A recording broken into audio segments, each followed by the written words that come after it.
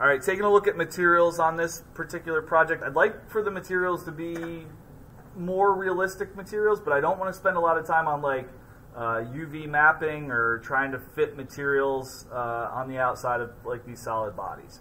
All right, so what I'm going to suggest for this particular project, if you were to hit M on your keyboard, actually, let me just take over. I'm, I'm going to I'm going to blast through this content. You guys can go back and do it on your own a little bit.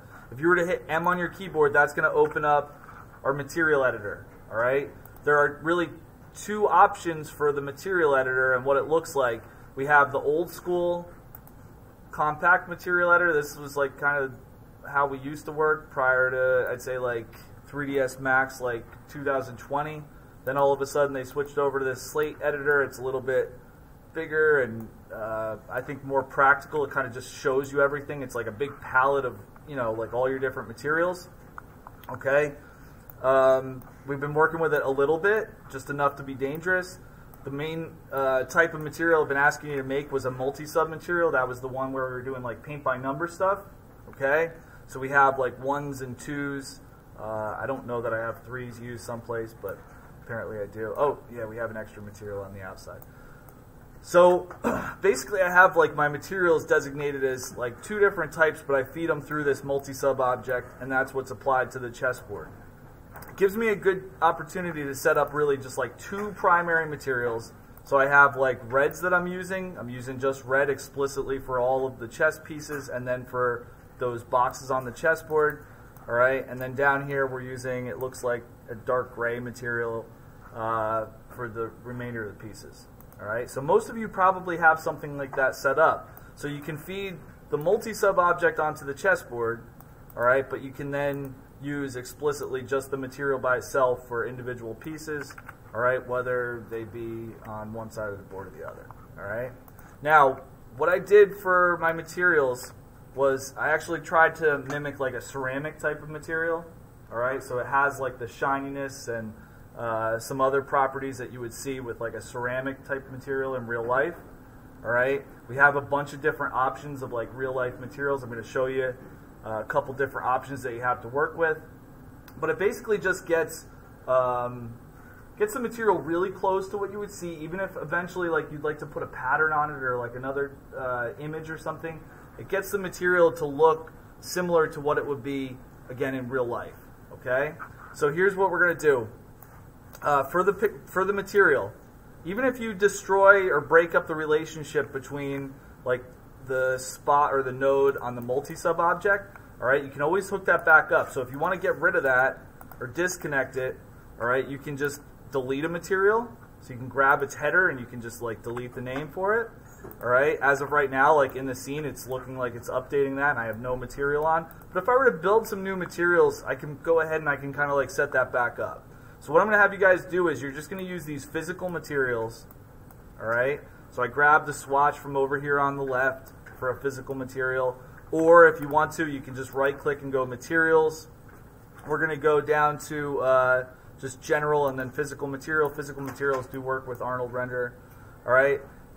And then we can kind of feed these back into the swatch. And what I'm going to have you do is just set up some properties for that physical material so that they can look a little bit closer to what you might see in real life. So we have some different options for physical materials. All right, you can go over to uh, like this little finishes preset, and you can set it up so that it's either like glossy paint, satin paint, matte finish, so it's not going to like really reflect anything. Varnish paint is going to have a huge like shine on the outside of it. All right, we have like some different like wood type materials if it was satin or if it was glossy. You got some concrete and some ceramic materials. You got plastic, masonry, rubber. There's glass materials. If you were to use glass, I got to warn you, it's to take a really, really long time to render because the glass material is to have to calculate in like light bounces and stuff like that, right? So it's to take a really long time. We also have some metal materials, and the metal materials might take a little bit longer, but not nearly as long as like glass. Let's try like one of the one of the metal materials for just a second. I'm to go to like a map um, aluminum for one one of my uh, sides here.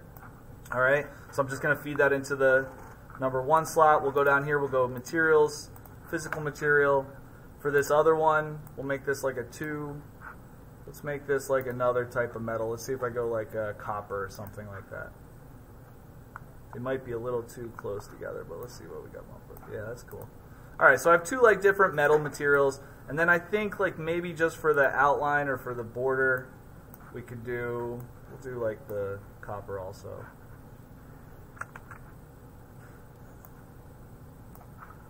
Yeah, that's fine. All right. For the camera, all right, I think you should get in the habit of using a camera. You should try to avoid just rendering something from a perspective view.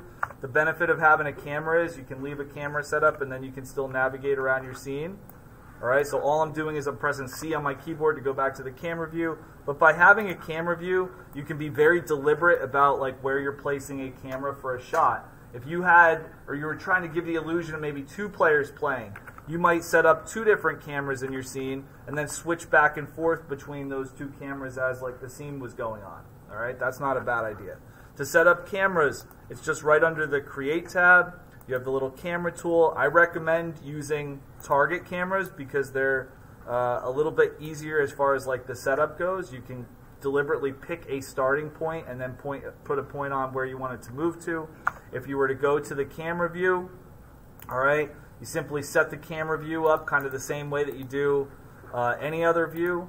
All right, so if you want to turn on shading and you want it to be in like high quality so you can kind of see what it's going to look like, then we simply click on like our little walkthrough mode here. All right, and you can pan the camera. You can click on the little person down here. You can like point it at something. You can use the WASD keys to set up your shot. All right. And it looks like right now I never put the materials back on uh, all of these guys. Let's just do that really quick.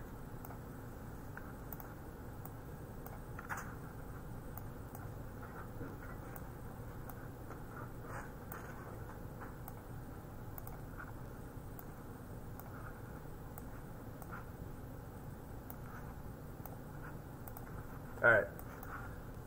So we got relatively real life material set up. We got our cameras in the scene so we can bounce back and forth between the two cameras that we're utilizing. Um, last up, materials, camera. Oh, lights. Okay, lights. So if we go to um, like a perspective view here, I have two lights in my scene. All right, and I'm looking for like a really simple lighting situation. I don't know, I don't need you to create some like monstrous lighting situation. I think less is more. All right. So here's what I'm to have you guys do.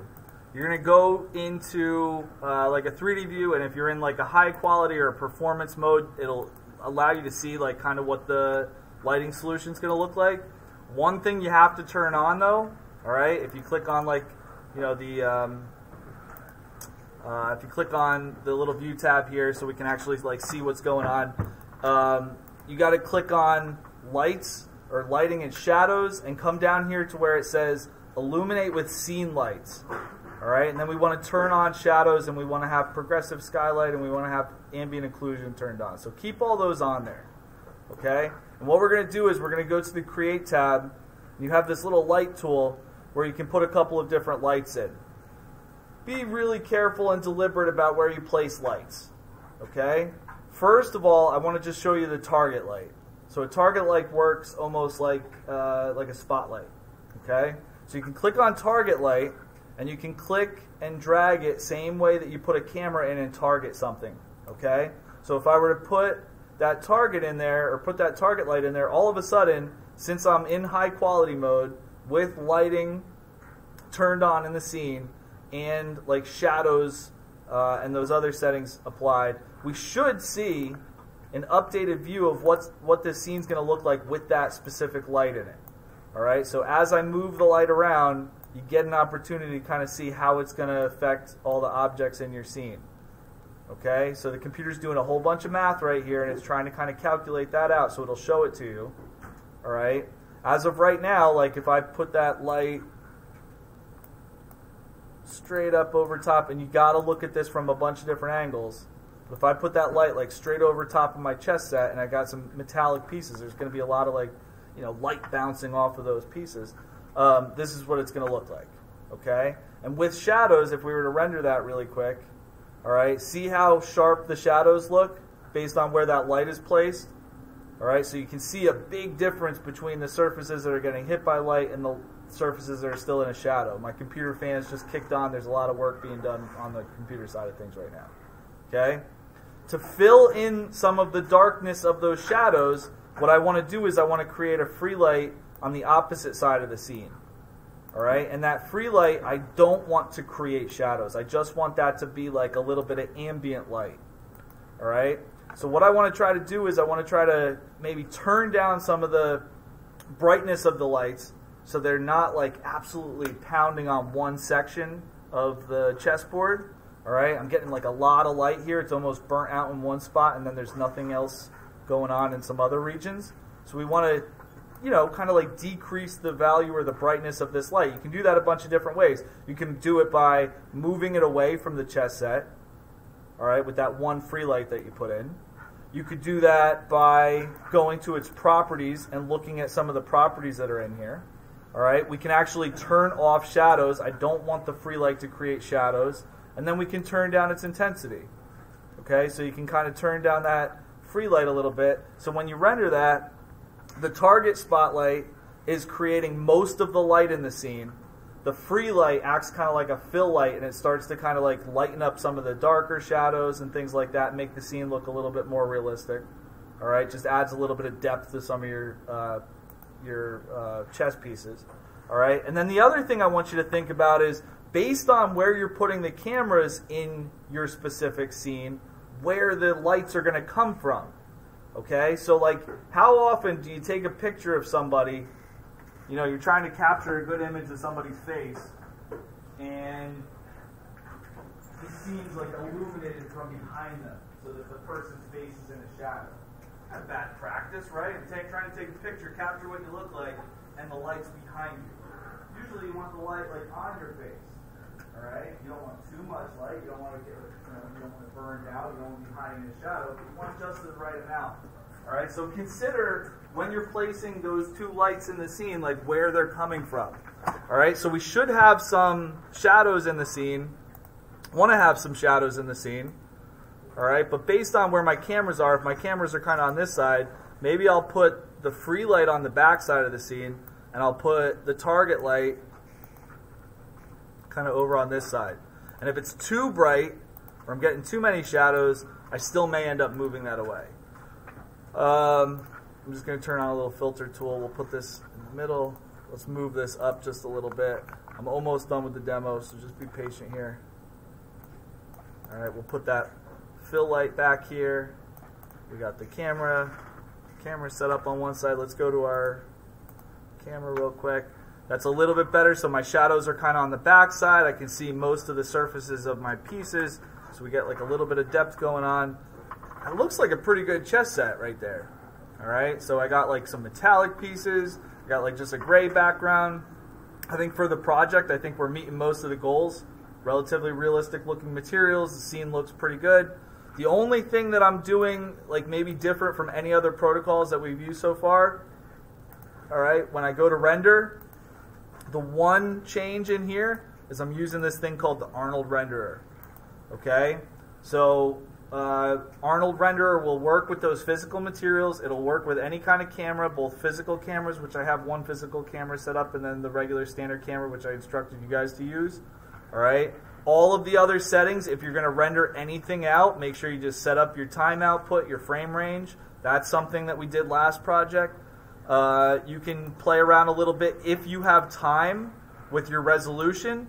If you have time, if you have a good animation set up and it's ready to go and you have a couple days to work on it, yeah, crank up the output size. Crank up the resolution a little bit. This is like a 4K resolution right here. I think. Pretty sure. Pretty sure it is. I'll have to check that. Uh, but it's really high resolution. All right? If you don't have as much time maybe bring it down a little bit. Okay? And then lastly, like don't forget to set your render output. All of those things are described up on Classroom. All right? Uh, it was a little while ago because it was the last project, but I did have that one post up. I think it was as material here, render settings. All right? All that stuff is described for you. Okay? Please go back and look at that. Don't be lazy and just like raise your hand because you forgot and oh I don't I don't remember. Go back and look. All right, it's on there for you. That's material I expect you guys to kind of look look to. Okay? That's it. Get some work done. You got the rest of this week to finish modeling um, and planning what the animation is going to be. Next week, I want you animating and rendering. Okay? Get going, please.